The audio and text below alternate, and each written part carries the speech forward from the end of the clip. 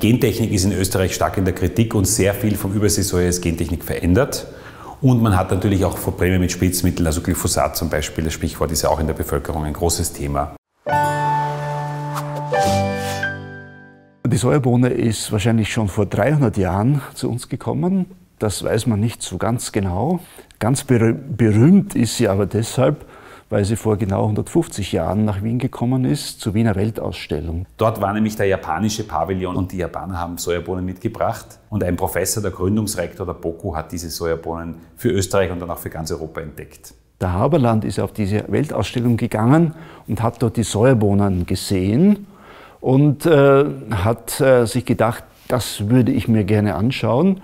Und er hat dann auf, ähm, aufgrund dieser Erfahrung, die er da gemacht hat, hat er dann in den Folgejahren Anbauversuche gemacht und hat herausgefunden, die wächst eigentlich ganz gut bei uns. Nachdem Haberland ziemlich schnell leider verstorben war, haben die Landwirte auch wieder aufgehört, das anzubauen. Vor allem deshalb, weil sie nicht gewusst haben, was sie mit diesen Säurebrunnen machen sollen. Richtig begonnen hat es dann im Jahr 1988. Da hat man also einige tausend Hektar an Säuerbrunnen bei uns angebaut. Die ersten Sorten, die waren nicht ganz ideal an unsere Verhältnisse angepasst. Die waren meistens zu spät reif und da waren die Erträge nicht sehr hoch. Die waren 1500 bis 2000 Kilogramm. Aber in diesen letzten 30 Jahren äh, hat eben die Pflanzenzüchtung in Österreich begonnen, adaptierte, angepasste, regional angepasste Sorten zu züchten.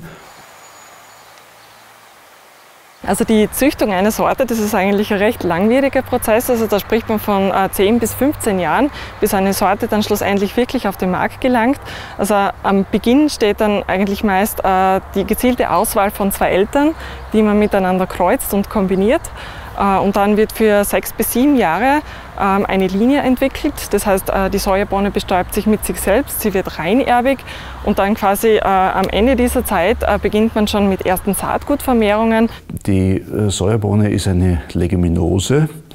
Und damit ist sie in einer Gruppe mit Erbsen, Bohnen, Kichererbsen, Linsen und so weiter. All diesen Pflanzen ist gemein, dass sie Stickstoff aus der Luft fixieren können mit Hilfe von Knöchelbakterien.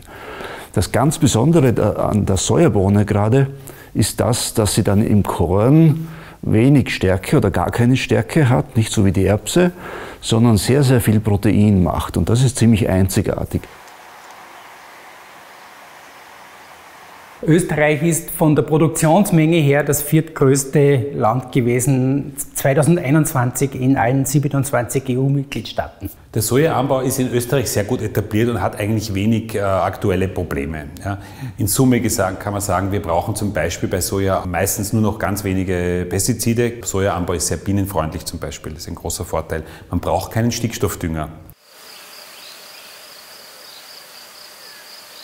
Die Sojabohne kann mit den wärmeren, den immer wärmeren Klimaten, die wir haben, auch im Sommer besser umgehen als andere Kulturen. Das heißt, die Sojabohne ist ein Gewinner aus der klimatischen Veränderung, die wir haben. Die Hitze stört sie nicht und es gibt auch Berechnungen, Klimawandelberechnungen, ähm, die zeigen, dass die, die Erträge von Weizen, die nehmen ja schon ab jetzt, aber die Erträge von Sojabohne, wenn das so weitergeht mit dem Klimawandel, werden sie in Mitteleuropa bis ins Jahr 2050 noch zunehmen, weil sich die Säuerbohne wohlfühlt. Soja ist äh, eine tolle Pflanze, eine wunderbare Pflanze, aber natürlich in den letzten Jahrzehnten ähm, erreichen uns immer mehr Berichte über Raubbau am Regenwald. Das ist ein großes Thema, also Umwandlung von, äh, von, von Regenwald in, in, in Sojafelder. Äh, die Gentechnik ist in Österreich stark in der Kritik und sehr viel vom Überseesoja ist Gentechnik verändert.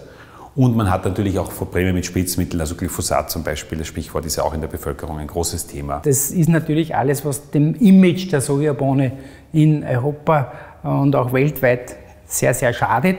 Unter dem leidet auch der österreichische Sojaanbau.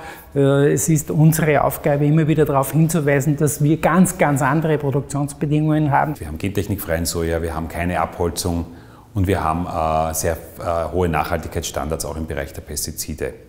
Das heißt, man muss bei Soja differenzieren. Es gibt solchen und solchen Soja.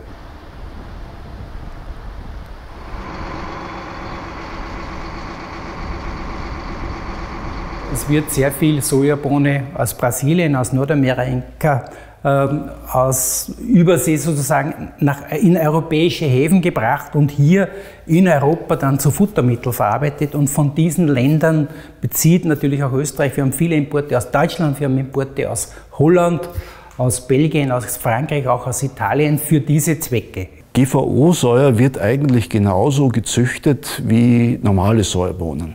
Äh, der einzige Unterschied ist der, äh, zuerst äh, ist ein Schritt, erfolgt ein Schritt im Labor, wo, ähm, wo ein Gen, das man in die Säuerbohne von außen einbringen möchte, wo das eingebracht wird. Also man kann das Gen dann weiterkreuzen, in andere Sorten einkreuzen und so weiter und so weiter.